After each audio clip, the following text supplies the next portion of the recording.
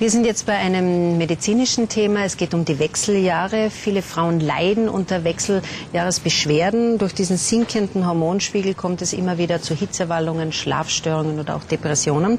Äh, die sogenannte Hormonersatztherapie, die ist wieder umstritten.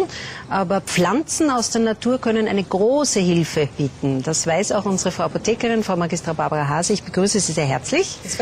Ähm, welche Substanzen aus der Natur kommen denn zum Einsatz?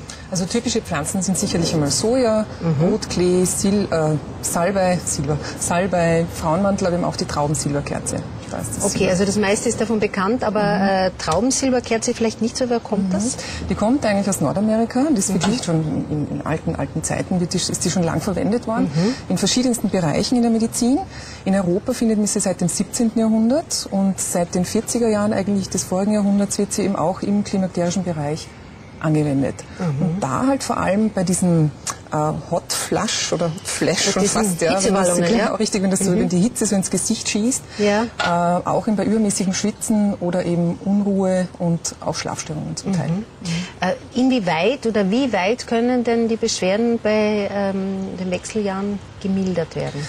Also es wird ja gerade die Arzneipflanzen werden ja sehr gut untersucht in den letzten mhm. Jahren und es, es, gibt mittlerweile auch wirklich schon gute Studien, die einige, einige äh, wissenschaftliche Belege vorweisen können. Mhm. Und bei der Traubensilberkerze gibt es einen Spezialextrakt, wo fast nach 14-tägiger Einnahme bei manchen schon eine positive Wirkung eintreten kann. Mhm. Es ist halt bei den Arzneipflanzen trotzdem so, dass natürlich durch regelmäßige Einnahme über einen längeren Zeitraum natürlich dann auch eine weitere Wirkung gegeben ist. Mhm. Aber es kann auch wirklich schon relativ schnell eine Wirkung eintreten. Also ein bisschen Geduld sozusagen ja, das, bei diesen das braucht Medikamenten. Ja. Ich, ich denke noch, man muss dem Körper auch ein bisschen Zeit lassen ja. in manchen Bereichen. Ja. Äh, wie ist das mit der Dosierung? Gibt es eine, eine Überdosierung bei der Traubensilberkerze zum Beispiel oder sind gewisse Dinge bei der Einnahme zu beachten? Also bei der Einnahme ist auf jeden Fall an die Dosierung halten mhm. und wirklich Präparate nehmen aus zuverlässiger Herkunft. Ja. Ähm, es ist vor ein paar Jahren, es sind im Internet hochdosierte Traubensilberkerzenpräparate aufgetaucht, wo dann schon Nebenwirkungen noch aufgetreten sind was natürlich dann zur Folge hat, dass das noch besser untersucht wird.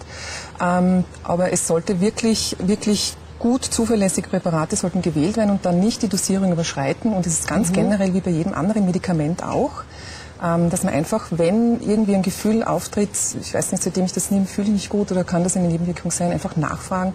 Und das, von dem her ist es dann sicher gut kontrolliert. Mhm. Also nicht nur, wenn man sagt, na, das ist eh nur eine Pflanze, sozusagen Richtig. einfach willkürlich Richtig. dosieren. Das kann man nicht mhm. oft genug, mhm. oft genug unterstreichen. Genau. Jetzt ähm, hört man ja auch immer wieder, dass in gewissen Lebensmitteln diese mhm. Stoffe mhm. drinnen sind. Äh, in welchen Lebensmitteln ist das vorhanden? Ja, man hat es eigentlich durch Beobachtungen von den Asiatinnen, wo man, wo man sieht, dass die Neigung zu menopausalen Beschwerden doch signifikant niedriger sind als bei Frauen im westlichen mhm. Teil. Ja. Ähm, so ist man eigentlich schon auch mit drauf gekommen. Und die Sojabohne hat man dann relativ schnell untersucht und auch die Inhaltsstoffe recht schnell äh, herausgefunden mhm. und hat dann natürlich weiter geforscht und hat das in dem Rotklee gefunden und eben im Salbei und so weiter. Und das sind einfach Inhaltsstoffe, die nützen die bestimmte Östrogenrezeptoren, ja. nützen sie als Ankerplätze und können mehr oder weniger eine östrogenähnliche Wirkung zeigen. Mhm. Aber sie können genauso gut auch, auch ähm, das beeinflussen. Sie können genauso gut Synthese beeinflussen oder Transport beeinflussen. Also das ist eine ganz interessante Geschichte. Und, mhm. ähm, so ist eigentlich auch das Wirkprinzip. Also da steckt dahinter. Die nützen einfach die Ankerplätze, ja. die wir eben in uns haben. Mhm. Ja. Äh, Homöopathie ist natürlich auch immer wieder eine große Hilfe. Kann da auch homöopathisch behandelt werden? Ja, es gibt ja auch so, es gibt ja Komplexpräparate, wo man immer ganz, ganz gut so eine recht große Gruppe von, von, von Betroffenen umfassen kann oder erfassen kann, erreichen kann.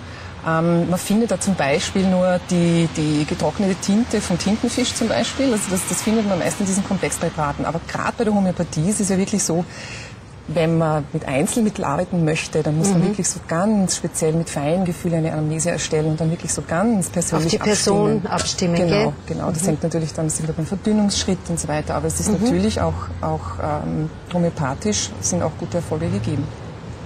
Dann danke ich Ihnen herzlich fürs Kommen, danke. Frau Magister. Dankeschön.